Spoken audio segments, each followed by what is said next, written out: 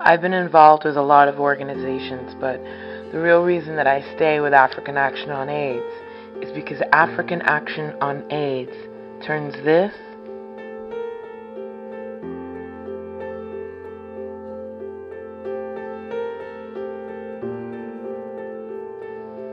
into this.